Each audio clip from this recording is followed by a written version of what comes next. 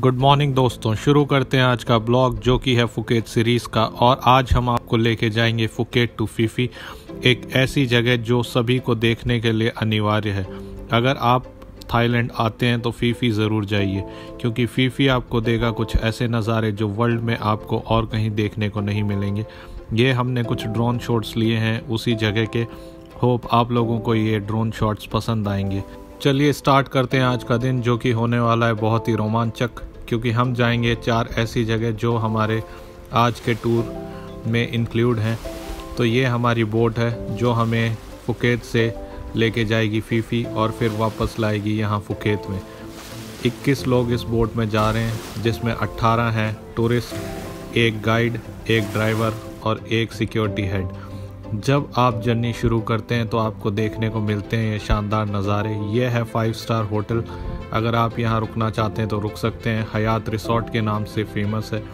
और जैसे ही आपकी जर्नी शुरू होगी, आपको देखने को मिलेगा समुद्र में बिल्कुल ब्लू पानी, लहरें, जो कि बहुत ही अच्छी हैं।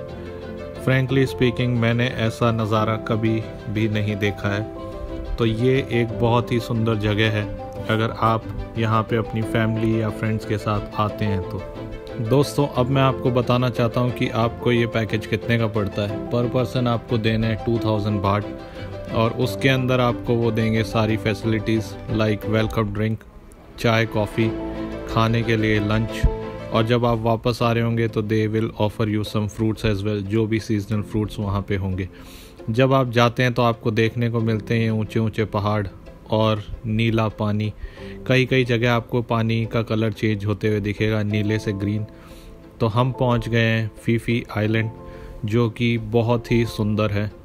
और अब हम यहाँ पे उतरने के बाद आप लोगों को दिखाएँगे यहाँ के कुछ दृश्य, जो कि आप लोगों को बहुत ही ज़्यादा पसंद आएँगे।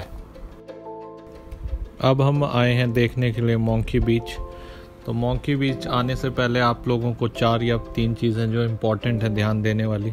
कि आपको बंदरों को कुछ फ़ीड नहीं करना है।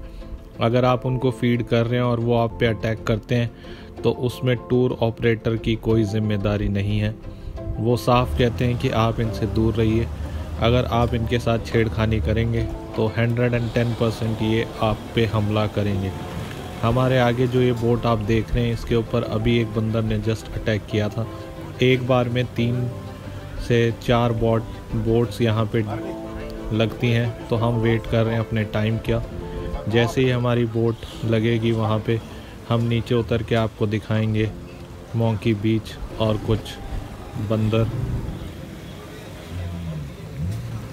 इस बीच के बारे में मैं आप लोगों को थोड़ा सा ब्रीफ कर देता हूँ कि यहाँ पे आपकी बोट रुकेगी 40 मिनट्स के लिए। आपके पास 40 मिनट है नीचे उतर के। अगर आप मंकीज़ के साथ खेलना चाहते हैं तो खेलने के लिए अदरवाइज़ आप कोई भी एक्टिविटीज़ कर सकते हैं। बट मैं अभी भी आप लोगों को यही सजेस्ट करूँगा कि आप बोट में ही रहें तो ज़्यादा अच्छा है। क्योंकि जैसा कि आप देख रहे हैं अभी, ये बहुत एग्रेसिव हो जाते हैं। कुछ भी खाने की चीज़ देखते हैं तो उसके ऊपर झपट पड़ते हैं। और इस बोट के बाद हमारी बोट वहाँ पे लगेगी। तो अब हम आ गए मोंकी बीच पे। एंड दूरी एक उचित दूरी हमने इन बंदरों से बनाए रखी है, क्योंकि हम इंडियंस जानते हैं कि ये सब कितने एग्रेसिव होते हैं। वैसे अगर देखा जाए तो सोचने वाली बात है कि कैसे इन्होंने इस एक छोटे से बीच के ऊपर अपनी दुनिया बसा रखी है। लोग यहाँ आते हैं, इनको खाने को डाल जाते हैं, ये खा रहे हैं, पी रहे हैं और बढ़िया से ग्रो किए जा रहे हैं। हमारे टूर गाइड ने हमें बताया कि पहले ये बहुत कम होते थे बट पिछले पाँच दस सालों में इनकी जनसंख्या जो है वो बहुत बढ़ गई है जस्ट बिकॉज़ ऑफ़ हमारे जैसे टूरिस्ट आते हैं और इनको खाने के लिए डालते रहते हैं। दोस्तों 40 मिनट हो गए हैं पूरे और अब हम जा रहे हैं फीफी लंच के लिए। भूख बहुत ज़ोरों की लगी है तो खाना हम शूट नहीं करेंगे। उसके बाद जब हम वापस जाएँगे तो आपको दिखाएँगे कुछ और चीज़ें। जो कि फ़ेमस है फीफी से जाते हुए फुकेत को।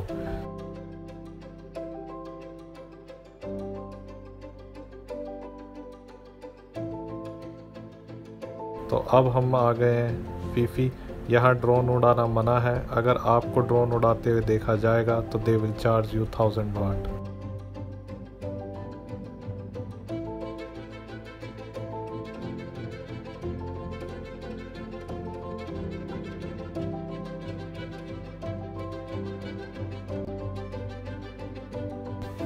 अब एक घंटे के लिए स्नॉर्कलिंग कराई जाएगी।